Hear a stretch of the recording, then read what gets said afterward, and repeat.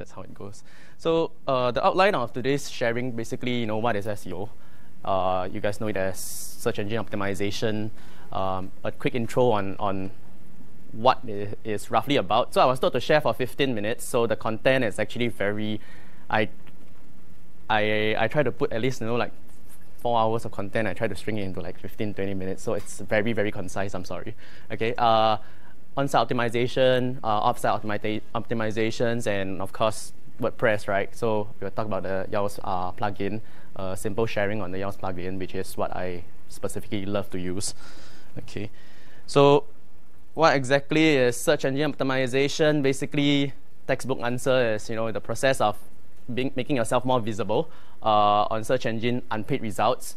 So there are two main types of results that you can find yourself on. You can pay so your PPC, your search engine uh, marketing, which is you know all your yellow color ads, ads, ads, uh, versus you know ranking for organic results. And why do people focus more on SEO uh, as compared to say SEM?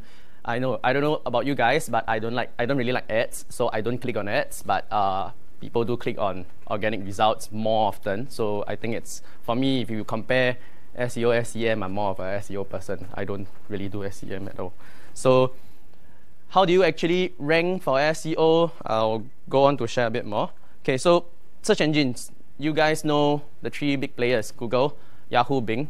Okay, in, in Singapore, Google takes up about 70 over percent of uh, the SEO search traffic, so which is why we are going to share more on Google instead of Yahoo and Bing. Yahoo and Bing actually do share the same results.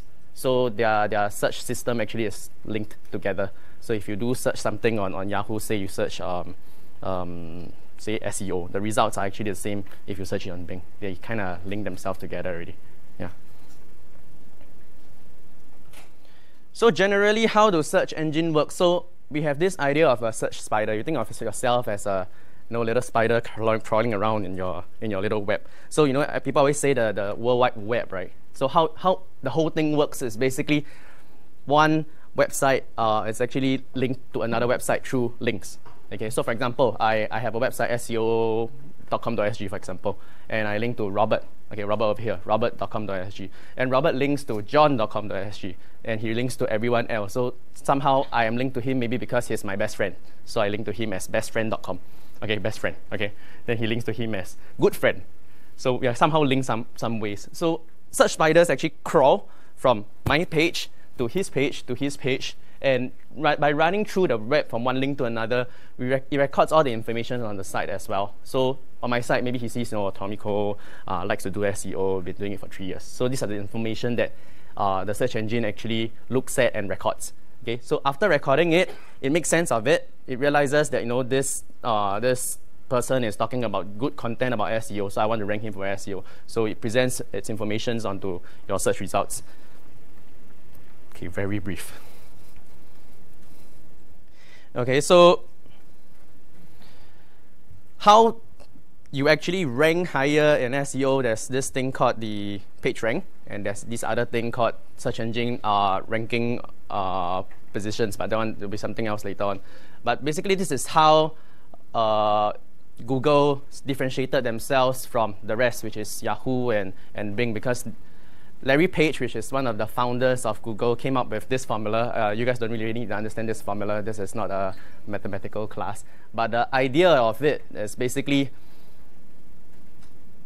a way to put it is high quality pages are the more the more good pages linking to yourself, you get a higher rank.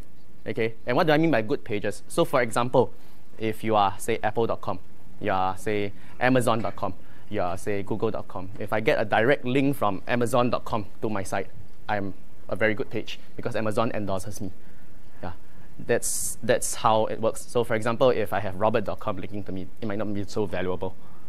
Yeah, so how it goes up, I mean, more people will link to Amazon and therefore Amazon ranks even higher, Amazon ranks to me and, and I do well.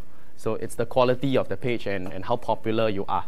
So I, I think another, another image it's easier. So think of it like this. So for example, you are you are you are this page. you get links from robert.com, you get links from amazon.com, you get links from apple.com, for example, and you do well, you get three votes. So it's basically a vote of confidence that ranks you better uh, in Google. So, uh, so for example, this site has three votes coming to this page. This page comes over, you know, three plus three, you get six votes, four votes. Very simple way of putting it. Uh, technically, technically, this page is supposed to do better than the other one because based on page rank and, and based on all, all being, you know, in the terms of equations, this being ones, value of ones, you get six votes, four votes. Technically, this page is supposed to rank higher. So back then, before uh, Google came up with algorithms to try to catch all the spammers and, and try to get all those people who are trying to cheat the system, this is how it worked. So if you get 1 million links, you get, you get you know, like 1 million links overnight, you rank for funny results. You can be you can be you can be tommykoh.com and you be ranking ranking for keywords like Apple, for example. You can do such things. That was how things were working back then. But of course, there are new algorithms that came out to penalize such spammers and, and people who try to game the system. Yeah. Okay, so what's SERPs? So SERPs is basically search engine result pages, which is what you saw just now uh, in your in your results pages.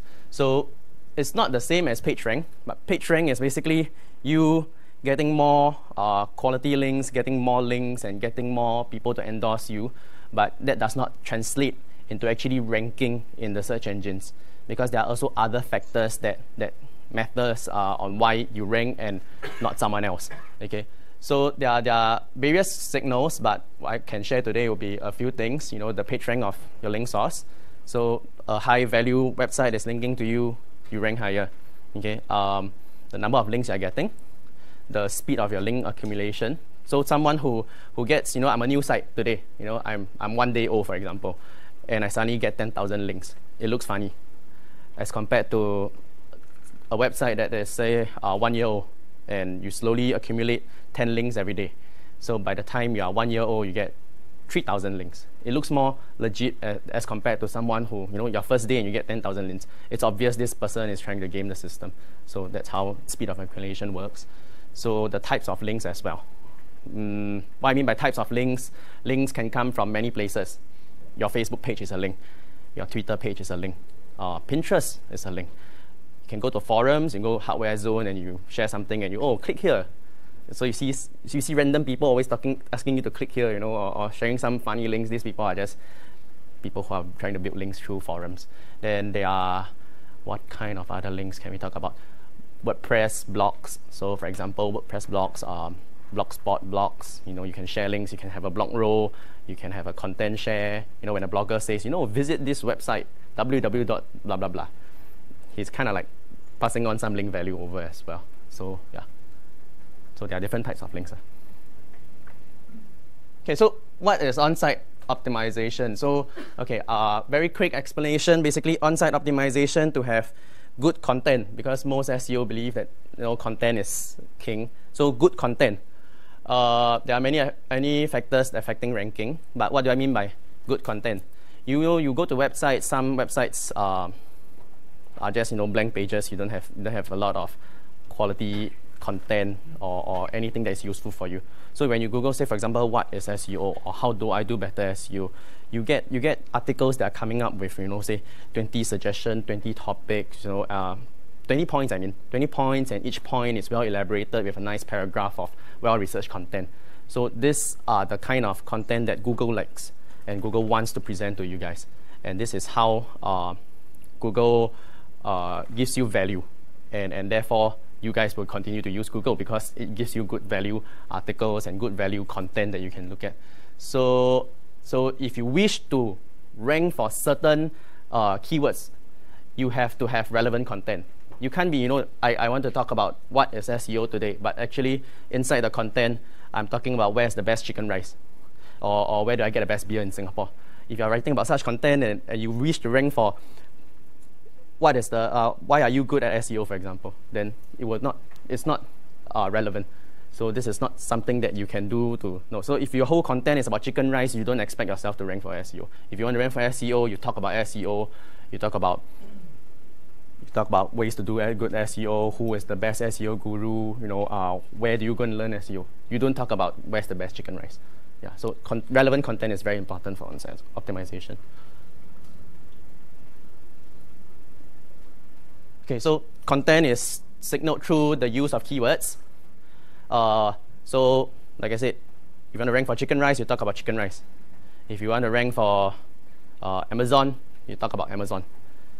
When you want to talk about, um, so for example, I was recently told by my friend that, uh, which, which website is this? I can't remember which website, yeah. But anyway, yeah, through the use of keywords. So within your content, you write a 5,000, 500 word blog post, for example. Within your blog post, uh, if you want to say rank for where is the best chicken rice, it would be good to repeat this keyword a few times.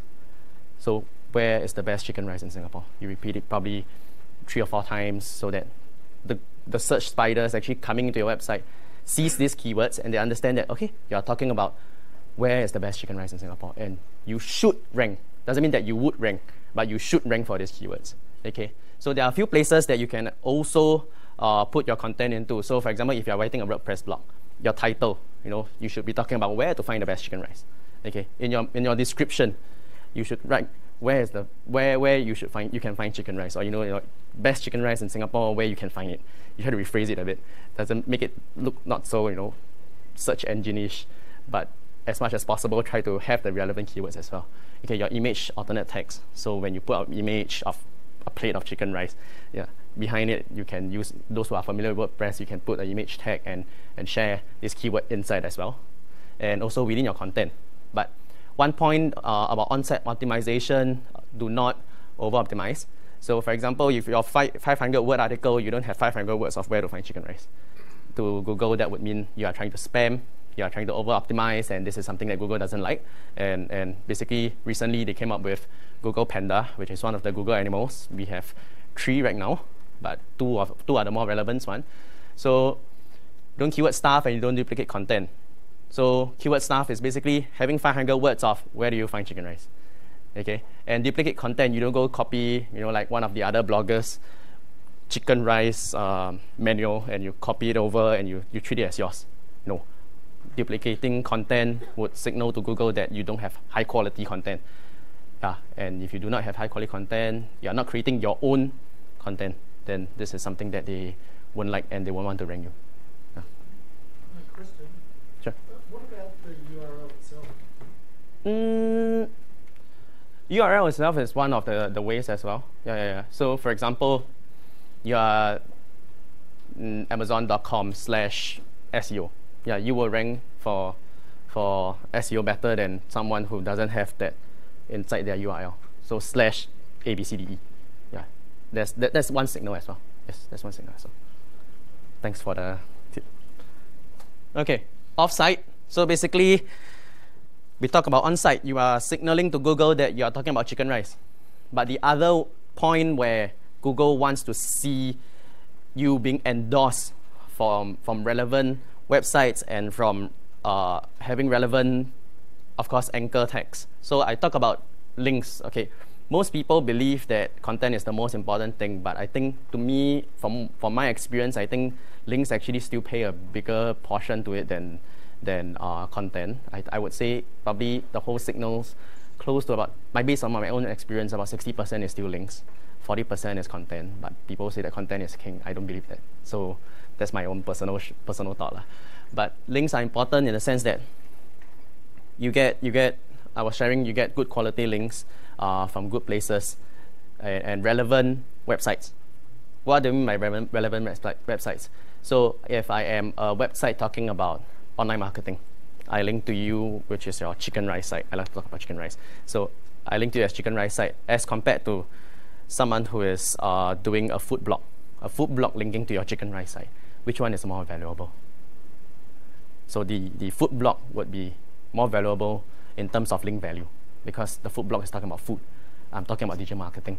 So if you want to look from the point of Google, which uh, link does, does Google value more? Of course, the food blog would mean more to Google than to signal more about food related articles or food related websites than my own website. Yeah. Okay, so where they are from, okay, the page rank of the site. So a high page rank website linking to you, a high page rank food blog versus a low page rank food blog. Of course, the higher page rank one has more value. Yeah. Okay, so the anchor text. Okay, so when you when you go to forums and you see people like to put click here, or it can be uh, www.abc.com, or it can be uh, food blog, or it can be the, the you know the blue color link that you actually click on. The the actual text itself signals something to Google as well. You know, if I link to you, if I link to you as good chicken rice, you are you have a higher chance of ranking for this keyword actually. So good chicken rice, exactly this keyword. So because I mean to, to Google, hey, someone is pointing to you and say you are good chicken rice. I should rank you for good chicken rice. Yeah. But if but well, of course you have to watch out for not having too many links coming in as good chicken rice. You get, get your friends to go, you know, 10 of your friends go to 10 blogs and start writing good chicken rice, good chicken rice, good chicken rice. You might over optimize as well. So this is something Google Penguin as well. So if you have too much of the same anchor text, uh, it's not good for your, your website. So most people try to I mean, for SEOs like, like myself, you try not to do too many of the same uh, keywords. You try to, uh, what we call dilute it a bit. Sometimes you just www.abc.com. Sometimes it can be click here. But these are older methods. Lah. You can link it for other, other forms of uh, key, keywords as well. So instead of good chicken rice, you can talk about, you have a longer keyword where to find the best chicken rice in Singapore it looks more legit than having, you know, specifically always targeting one set of keywords. And of course, the anchor URL, you are linking to the front page or you're linking to a deeper blog page. So if you want, you want an article to rank for a certain keyword, you link to that page directly. You don't link to the home page, for example. Then you guys can go and find out more about Google Penguin. But the idea of Google Penguin is basically do not over optimize on keywords unnatural links are basically, you know, having links coming in too fast or coming in from multiple sources or links coming from only one site but every page of that site. So if you have a WordPress blog, you put it on a blogroll. You have a thousand page WordPress blog, for example. You have been blogging for 10 years. And suddenly you put it on a blogroll. Yeah, it might damage you as well. Yeah. So what if your you have a competitor Mm. and then your competitor go and buy some And whack you. stuff and then Mm. like put unnatural links towards your site? Yeah, that can work. What so what what should is there anything that we can do to prevent this? Uh, there's no real way to actually prevent this uh, if if your competitors are so so lame and they want to do such things to you, they can do that. But uh, there is this tool in, in Google Webmaster Tools that you can actually disavow such links. So if you do find out, lah, but the I mean I mean SEO is a very dynamic thing. You have no idea whether this link is, is harming you or actually helping you. You don't even realize where the links are coming from sometimes. So it's very difficult to find out. It's very, very difficult to find out. But of course, I can, I can decide to, to you know, I don't like Robert, for example. I can, I can just throw like 10,000 links and rank him for some, some funny, funny keyword that I, I hope he, he, people searches and finds him. Yeah, I can. But, uh, but you can actually disavow it. So Google Webmaster Tools is one of the tools that Google actually provides you with that you can use to check your backlinks from, but it's not very updated. It's not very strong. There are also a lot of other paid and free services online, but I would say if someone really do do engage in such activities, then you are if you are able to find out where it's coming from, you can disavow the links. So you're telling Google, don't count this. It's not done by me, or no, uh, I don't want these links to be endorsing me. You know, or it can be coming from say a porn site. Yeah, you have links coming from a porn site. That's not good. Uh, it's coming from a, a rubbish site. Yeah, it's not good. So no count it. Yeah, you can do that, but that's if you can find out where it's coming from. Yeah, if you can find out where it's coming from. Yeah, good question. Question. Add on to this question. Uh, do they pay attention to the domain name extensions anymore?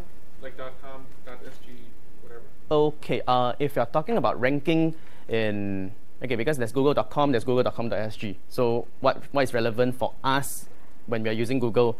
Most of the uh, results come out from the .com.sg site. So it's a Singapore targeted site. So if you're getting you want to rank in Singapore, it's good to get links from .sg websites because it's more local based. So for example, I'm I'm rank, I'm trying to rank for SEO Singapore. So getting links from .com.sg sites are more favorable actually, yeah, because you're more relevant to the Singapore-based kind of uh, keywords. Yeah. Sorry. Yeah. Um, just wanted to check. So what happens when, uh, say, Hmm. a whole bunch of pages with lower page rank Mm-mm. link to your site, Yep. but actually they're not. Harmful. Yeah. It works. So what, what It works. to your site? It works. Uh, so it's actually good if you are saying it's not from harmful sources. So it's not like porn sites or or highly unrelevant sites. So if it's low page rank sites, actually having a lot of low page rank sites is actually good for you because you know like one plus one plus one vote, you get ten votes. Yeah. So not necessarily you must get a ten vote website coming to you all the time. You can get a one plus one plus one vote and slowly work your way up. Yeah. So it, it, it's good as long as it's not harmful. You know, as long as it's not not having a page that it has 1,000 pages, one time linking to you 1,000 links. Yeah, it's not good. Yeah, so if you have 10,000 links coming in of low page rank, no, that's not good. Yeah, but if 10, 10 every week, slowly accumulating, it looks natural, it looks nice. Yeah. Let's say I have a blog and Mm-mm. I do all the hard work to Mm-mm. produce original content. Yep. The content is very good. Yep. And for some reason, uh, a lot of people copy my content Mhm. and put it on the website. Mhm. So who will get penalized? You know, like how will Google recognize that? Okay, I'm the first person to post it, and uh, will I be equally penalized, or only my competitors will be, or the person who copied from my site will be penalized? Okay, good question. Okay, so Google Google's algorithms are able to actually compare whether you know, of course, someone is duplicating your your content and basically copying it over and just using the content. So even if you if you, which is why most site, websites you actually see like Copyscape protected and all this kind of thing. You know, even Copyscape can actually run all the searches on the whole internet and and and crawl and find out whether someone is duplicating you. Google can definitely do that. Okay, but one uh, sadly, for those people who produce original content, unless you know like the guru in, in the field itself, I myself what I can do is I can rewrite your content. So you know you have ten reasons uh, why you should come to Singapore uh, and travel. Okay, I can I can take five reasons. I can rewrite it in my own way. You know, I mean English you can rewrite it in so many multiple ways. You can change the content slightly. You can change the topic slightly, and it's still your article.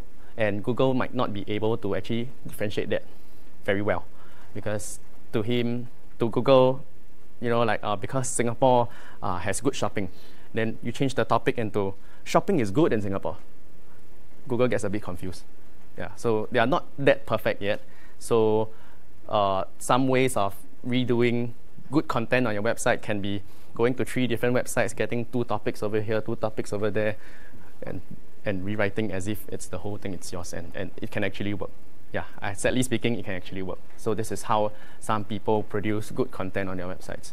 Yeah, but of course, you get articles that are only yours, you know, your own opinions or, or, or, or someone, something that can, someone can't copy or you're a guru in the site and everyone knows that it's your, your, your own intellectual property.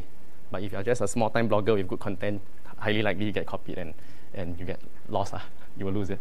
Uh, One question is that if we actually advertise in directories, right, is it Mhm. like uh, Yep. following? Yep. We pay for those directories. Correct. It's. Yeah, it's a legit. Yeah, so you, you can go to directories, you pay for it. High page rank directories, yes, it counts. Uh, but it used to count even more, but now they kind of like discounted already. Yeah, so but that is one strategy. That's one link source as well. So you can go to um, the most famous paid ones are your DMOZ, DM, Mosaic, your Yahoo. Oh, Yahoo is very expensive. Yeah, It Yeah.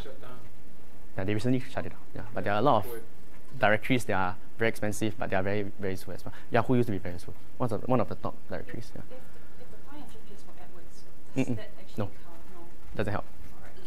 Doesn't help. So if you are doing AdWords and you're doing SEO at the same time, does it help you to rank for SEO? No.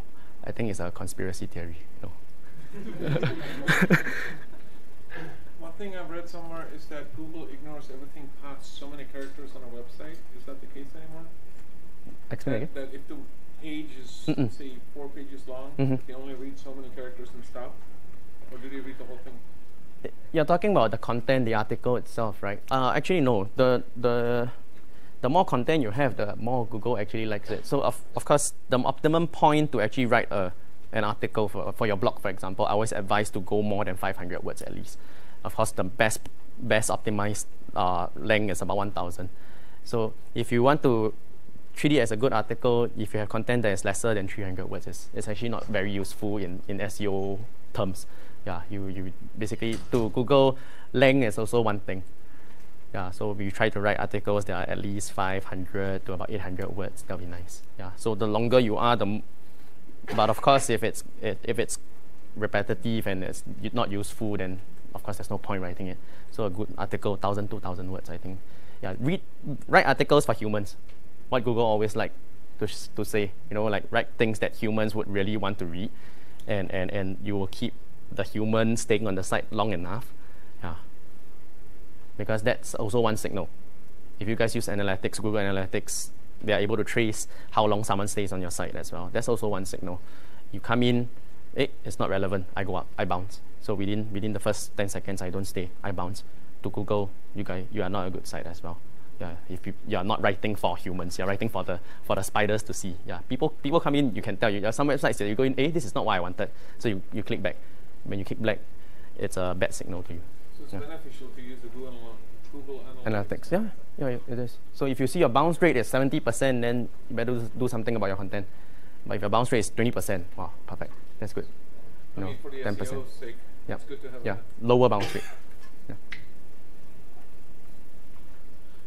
Okay, so just now I'm talking about source of links, right? So there are a lot of source of links that we can talk about. So um, it can be social bookmarking, which is your Pinterest, LinkedIn, um, Twitter, Instagram. These are all your places. Um, forums, your hardware zone, whatever not. YouTube, uh, comment marketing. You can go to a lot of places and write stupid comments and get links as well. Blogging, WordPress, um, Tumblr, your mm, hmm. Good question. Let me think of it. Let me get back to you later on. Okay, news news PR pages. So you know, like free PR submission pages. You can write, you know, oh, uh, I'm gonna have a discount day for my chicken rice store today. I'm gonna write a nice PR press release and I'm gonna go to the free sites and I submit. Yeah, those count as well. Okay, the rest infographics, social networks, document sharing. There a few document sharing sites, but I can't remember offhand. Yeah. Stupid sites. Hmm. Oh yeah, SlideShare, SlideShare, yeah, SlideShare is one. Yeah. Okay, so let's talk about Yoast SEO plugin. So when you when you actually use Yoast SEO plugin on your websites, um, this is more relevant for your pages and also your post pages. Yeah, those who use WordPress. So when you when you write an article, um, how you roughly okay i only have two two very simple pages on this. So you want to let Yoast help you optimize for certain keyword. Okay so how they help you optimize is you let him know that your focus keyword would be wordpress seo plugin. So what what Yoast would actually force you to do is to repeat this keyword a few times at a few places. Okay so for example within the url itself okay so now the, it's yoast.com slash WordPress slash SEO. So you see page URL, it says no. But if if it's actually slash WordPress dash SEO dash plugin, it will say yes. So you're optimized for your URL. Okay. Uh, your article heading, so WordPress SEO plugin. Eh? It's appearing and it's bolded. So it's a yes over here. On your page title, in, within your content, which is probably within your blog post itself, it repeated 13 times. Okay, and in your meta description. So this, when you search Google, you see the title, you see the description. It, it says something like, uh, uh, "This website is the leading website for blah blah blah blah blah." Yeah. So this is what we call the meta descriptions. So within the meta descriptions, you repeated it. Okay, normally we don't do it two times. Uh, we do it once. Uh. Two times is a bit too much. Yeah then you can use the Yoast plugin to actually re-edit your SEO title as well. So your actual title can be something and you can use it to rewrite the, the title and put in your descriptions. So yeah. So the second page of Yoast is your page analysis. So it will actually tell you things like, you know, uh, it does not appear in your URL, which is the, the search questions over there. So if it's not in your URL, go and edit in your URL, change your URL. you know, uh, your website doesn't have any outbound links. So good sites share, bring traffic to other sites. So I mean, in the eyes of Google, the spider always wishes to be climbing, to be crawling around the whole internet. He doesn't like to reach a, a, a, a, room and there's four walls and he has nowhere to escape. So you always be good if you have an outbound link. But of course, it must go to a relevant site. If it's not relevant, then it's not very useful for Google and they don't like it. Okay. Copy score. This basically wants you to forces you to write in a way that it's good English for humans to read. If you are writing in you know like very complicated words that you know like very colorful languages that, that only you understand and it's not simple language that, that everyone else can understand which means you're not a good teacher for example yeah then it's not good so write in content that is simple understandable yeah idiot proof images do you have the the keyword itself in your in your image tag you know is it in the first paragraph so all these kind of suggestions will be green. So you want to use this plugin, see all the greens. If everything is green, great. You are well optimized. And, and these are a lot of signals that they will actually help you to, to improve on, on your optimization, which is what I shared in front. So having it in your meta description, having it in your phrases, you know, the keyword density. You don't want it, it's 1.3%. So out of 500 words, maybe you only have 15 words or, or like 10 words of it being this keyword if it's 100%, then you're basically repeating it the whole 500 words. and that's not good. Yeah. So you guys can go back and play with it. So I think that's all for my sharing today. So if you have any questions, yeah. Thanks. Oops, oh, I took so long. Yeah. If any questions, uh, I don't mind. Just, just curious, uh, mm. like for WordPress bloggers, how many mm percent of them actually make money from their blog? how many of them actually make money? I, I, I wouldn't really know because depends on how you make money. Bloggers have, have various sources. You have your AdWords, you have your AdSense money, and you have your your getting getting sponsors and whatnot. So I, I cannot tell how many of them actually do make money from SEO unless you're writing financial related content that a lot of people you know how to make money kind of articles and you can rank for number one in the world yeah probably you will you will get some money but if you want to optimize yourself to be number one for how to make money you probably take you like lots of lots of time and effort yeah. Is it true that if there is like sponsored content mm-hmm. or paid content, mm-hmm. if it's indicated in your post, okay. It, if you follow through to another link, mm-hmm. this is a very gray field. So if it's sponsored, you can declare it on on your website, but Google doesn't care whether you actually say that it's sponsored or not. Yeah, but uh, you can get penalized, you cannot get penalized. It's a very gray area, but it counts. So if you get sponsored links and from Xiaxue, for example, uh, Xiaxue has a lot of people linking to her. She links to you, well done. You're probably going to rank very well in Singapore. Yeah, or like some other good blogger.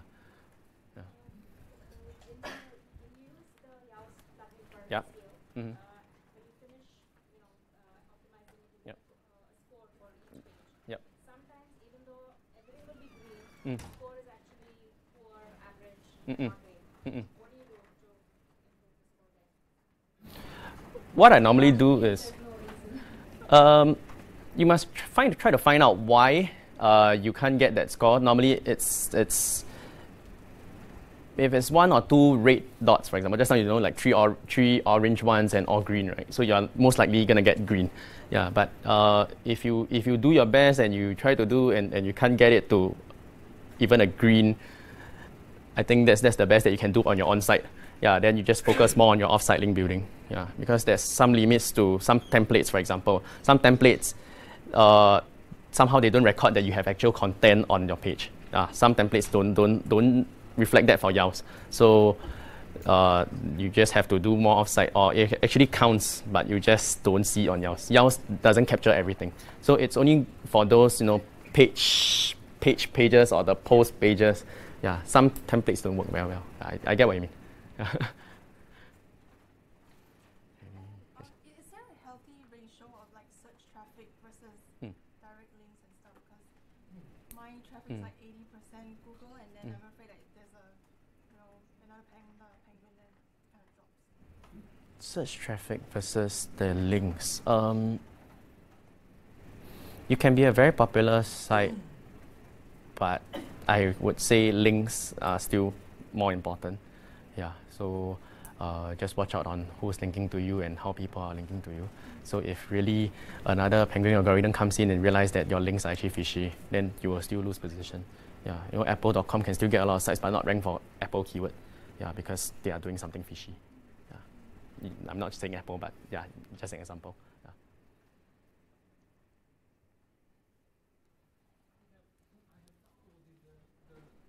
Mhm. what is now available to Mhm. the desktop. Mhm. And I'm not sure that I have a self-hosted site. Uh-huh. And is there any, any would you would you suggest that to, to use this app which is available on the desktop or What app is this? One or two months ago they, Uh-huh. they I, I'm not a technical guy but I uh, the backend is changed completely and now now it's possible to use the the app. You can download to the desktop. So instead going to Uh-huh. the browser and you put, put the Uh-huh. you download to your computer. You mean for WordPress, is it? Yeah, you can use an app. Are you talking about Calypso? First, I'm not very familiar with. Are you talking about Calypso? that's the code name for the app, but now they just call it app. Okay. Oh, yeah. Um, okay. A lot not of familiar. plugins designed for WordPress nowadays are not yet fully integrated with Calypso. Give it time, eventually it will go there. But for now, I think you're quite restricted if you're going to. Because exactly, I try to because they, they encourage the people, so it's supposed to be faster, and that's how. Yeah. it should be. But it's not really working with the plugin well. Yeah, So it's I- not yet. I, I can't. You can't Yeah. really create. So that one, just Yeah. don't even do it. Think of it as a progress. Eventually, Calypso will get there, but it's not yet there yet. Yeah. Any more questions? So we have one last question for him, and then afterwards you can catch him uh, after all talks. Okay, uh,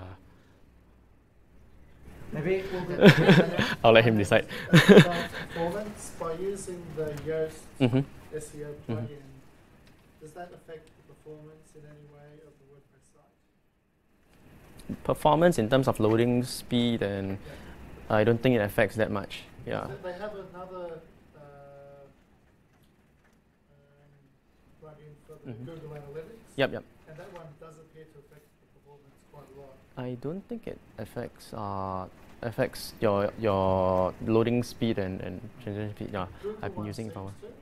The base Yoast SEO plugin is a pretty well written one. Yeah. Now, the others I've not tried it, so I can tell you the same.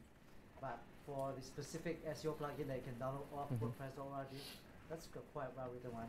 You should be able to use it on typical chat posts, and it shouldn't affect your loading speed. Yeah. So, uh, and sometimes plugins conflict with each other, so it looks like maybe it's that one might not be that. And the plugin is more of a suggestion to help you optimize and change your content. So I don't think it comes off as something that will affect any of the loading speed. Yeah, it's just more of a on, on your side kind of kind of plugin. Yeah. So um, thank you. surprised that it's uh, 70% people using Google and then the rest you using Google, Yahoo and Bing see what they're doing. And so if anything you should take away, I read that content is important, link building is important too, so work on those two. Google changes its algorithms once in a few months, so keep it up. Yeah, but working on those two are probably safe bets. So thank you, Tommy. Thank you, man. I don't think I said it all. So I know everyone's don't a think I